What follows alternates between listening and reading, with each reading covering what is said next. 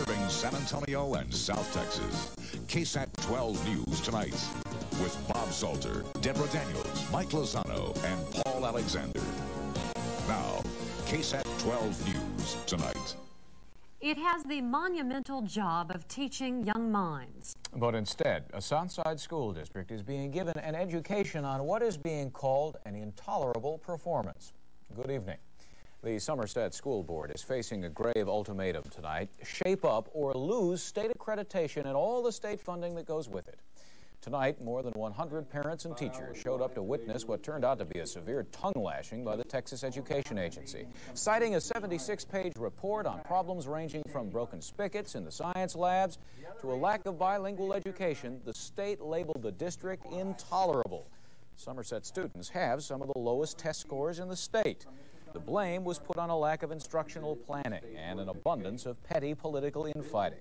The Somerset community has been divided ever since the board failed to renew the new superintendent's contract. To try to help Somerset correct some of its problems, the TEA has even brought in its own monitor. Some East Side leaders say it brings back bad memories of the heyday of the Ku Klux Klan. On the 20th anniversary of Martin Luther King's death, vandals defaced a statue of the assassinated civil rights leader. Witnesses told police three men, all Anglo, fired shots into the air and dumped white paint on the statue last night. Police say it will take about $500 to repair the damage. As of this hour, there have been no arrests.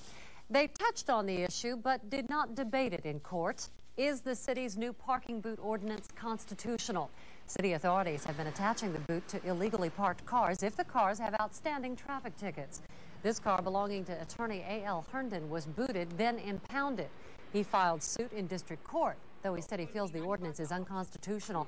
Herndon said his concern today was just to get his car back. I want my car back. I got my car back. The next step's up to them. If they want to go to trial, now they have a right to. If they want to test the statute, take it all the way to the Supreme Court, they have a right to do that. I just want my car back. That's what the judge just argued.